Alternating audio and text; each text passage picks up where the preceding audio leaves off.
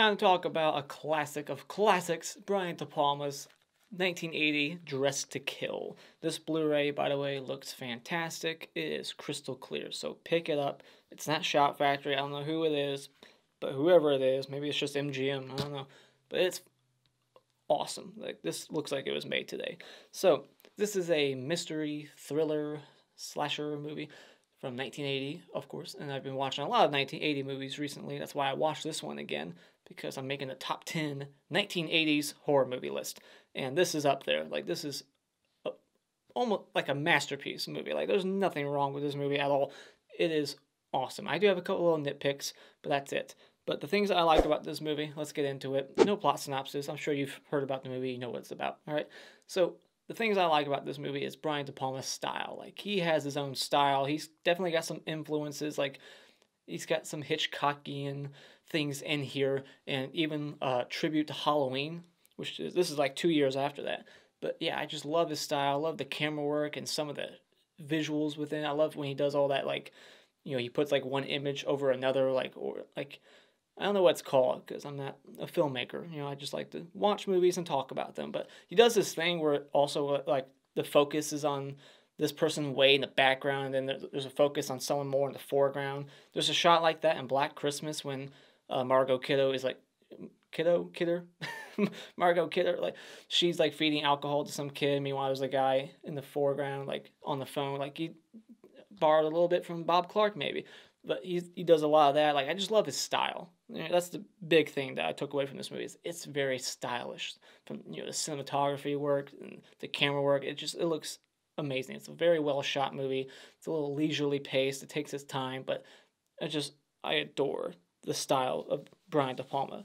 I'm becoming a huge De Palma fan here, and there's a very stylish kill in the movie. This, this isn't about a body count or anything, but the kill we do get in this movie is done almost like psycho in a way, but more you know modern day and more a little bit more graphic. You actually get to see like practical effects, like actual slits happening on screen, like slices on skin and stuff.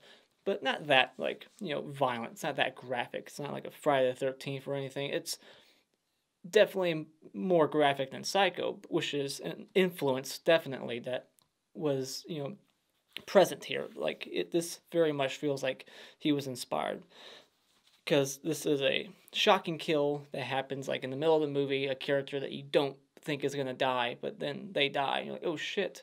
There's like a whole you know hour left in the film, and this person just died. So I like that you get like a stylish, shocking kill in the film, and I like that it's a whodunit. I like the mystery. This Brian De Palma is very excellent at storytelling. Like this is a very engaging story.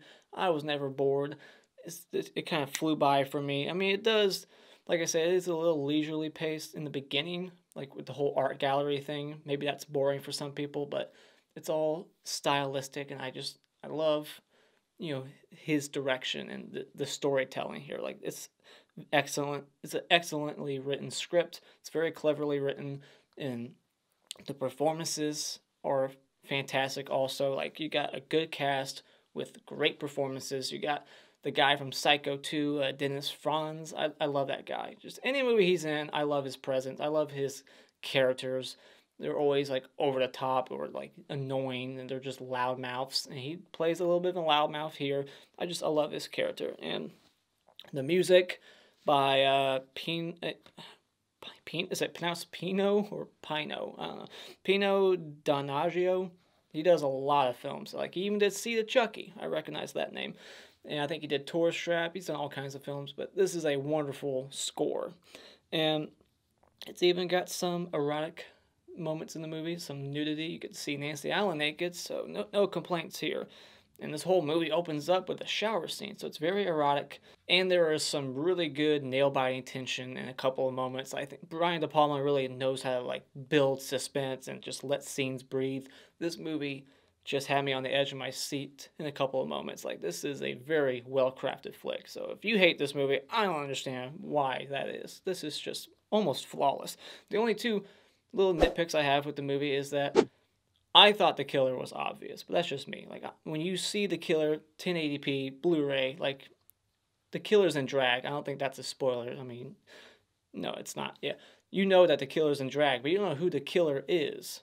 But when you see the killer, you recognize the face even with all the makeup on. Like you know who the killer is. I mean, I did. So that was just my little gripe with it. Is like I wish they would have done something to make it a little less obvious because I just was I looked at the person in makeup. I was like, isn't that that one character? It's like, yeah, it is. and I feel like this movie didn't have to add on that last like 10 minutes or so. Like there was a moment where the movie could have ended and I would have been just happy. But then they decided, you know, Brian De Palma wanted to add an extra like five, 10 minutes and then, you know, do this. I'm not going to spoil it here, but I was just like, okay, well, it didn't really need to end there. I feel like I felt like the movie could have ended at this one spot and it would have been just fine. So I just felt like the last 10 minutes was a little unnecessary. But final thoughts, this is a fantastic movie with great tension and a very good cast, great performances. It's a mystery whodunit, very engaging story. Lots of little familiar faces that have just little cameos in it. People from Friday the 13th and all all these other movies, like Christmas Evil even. So I was seeing people, I was like, oh shit, that person, oh, that person. I was having a really good time watching this movie. It's even humorous at times, and the humor works everything works in this movie. Tension, suspense, the you know acting, the cinematography. This is just a very well put together movie, and it really is just almost a masterpiece. Just my little couple of nitpicks, and that's it. So when it comes to Dressed to Kill, highly recommend checking this one out if you haven't. Go out it. Alright, now let's go through a spoiler discussion. This will probably be quick. I don't have too much to say here. Um, so this movie opens up right away with gratuitous nudity, like lots of full frontal nudity. You see bush, everything, the whole works. And that was a body double. I read into that. That was supposedly like a Playboy or Playmate that they hired for the body double for Angie uh, Dickinson. And yeah, and then it's a dream sequence. This movie opens up with a dream sequence, and then it ends with a dream sequence. So that could have been another nitpick earlier, but because I don't like dream sequences, but I get this one. I don't really care for the last you know, the dream sequence at the end. Why was that needed? And then we see Arnie from Christine. Uh, that was cool to see him. And then he was also in Jaws 2. And he's uh he's the nerd in this movie. He's got all these gadgets that he's putting together. And then she goes to the therapist played by Michael Caine, and she asks him basically if he would like to have sex with her. Like she's complaining about her sex life, and she just flat out asks Michael Caine, like, would you like to have sex with me? Like, would you? Are you interested? And that's what gets her killed. That's what we find out later on. She aroused him, so he had to kill her. And, but yeah, she goes to the museum basically hoping to find somebody to screw. Like, she's going there with the intention to cheat on her husband because he's a lousy lay but she just goes to the museum she's people watching and then she like throws her glove on the ground hoping that some guy will pick it up give it to her and it'll be like a conversation starter like oh thank you for the glove. Want to have sex? But there's like it's a very like drawn out sequence. So i can see this scene you know boring some people but the music's what really keeps the you know the flow going like it just keeps the pace going i, I really love the music i already said that before but the music's fantastic and but she just follows this guy outside the museum, and we get a quick shot of the killer, which I thought was pretty cool. Just keeping him in the background, it's very subtle. You wouldn't even notice it on the first watch. And she goes in the cab, and they just immediately start having sex, like like foreplay in the back of this taxi, just like caressing each other's thighs. He's taking her panties off in the cab. it's like the taxi doesn't the taxi driver doesn't even care. Like he sees it every day. It's not even phased. And then she goes there has sex with this stranger who she never even really spoke to. They said nothing to each other. It's like they just read each other's minds. Like are you thinking what i'm thinking? Let's go. And then she like finds out that he has an std right before she dies like she was already having the worst day ever she found out that she was most likely going to have like an STD, and then she gets in the elevator, and I guess Michael Caine, spoiler, he's the killer.